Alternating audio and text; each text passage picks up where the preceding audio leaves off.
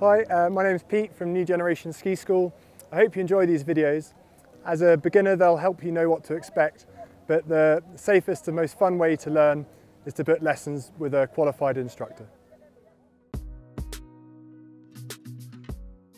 Okay, we're going to talk about how to put a ski boot on.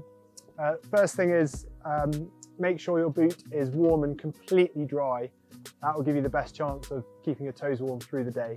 First thing is to make sure that all the buckles on the boot uh, are undone and that means you can open up the boot to put it on. And you want to open up the boot and pull the tongue out so that it's across the one side.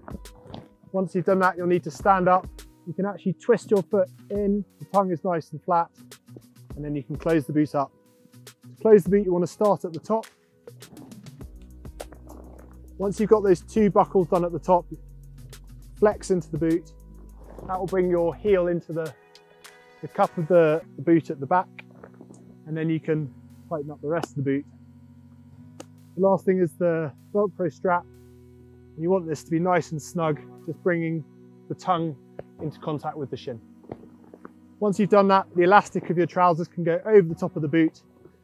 That will keep the snow out and you're ready to go.